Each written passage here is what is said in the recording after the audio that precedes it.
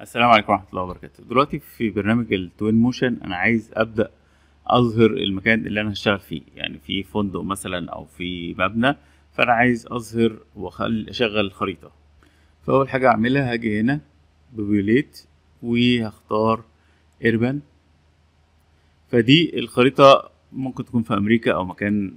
فأنا هقول له أنا عايز مثلا Cairo ايجيبت وتقدر تعمل زوم على الجزء اللي انت عايزه.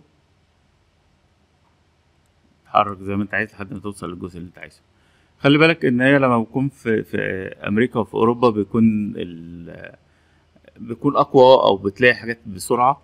إنما هنا ممكن المكان اللي انت تختاره ما يكونش حد عمل فيه ال- الموديل 3 دي. يعني هو الفكرة كلها إن هو بيروح ل OpenStreetMap ويبدأ إن هو يستدعي الملفات من هناك. فهنشوف ممكن تلاقيها موجودة ولا لأ. هو جاب لي هنا الطريق. تمام. وجاب لي بعض المباني أهوت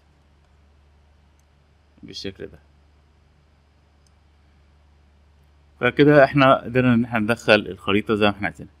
لو في دول أوروبا أو حتى في دول كتيرة في أفريقيا آه، بدأوا إن هم يهتموا بال OpenStreetMap فبتلاقي أي مكان هتختاره تلاقي كل العماير بالارتفاعات بتاعتها مظبوطة وكل حاجة.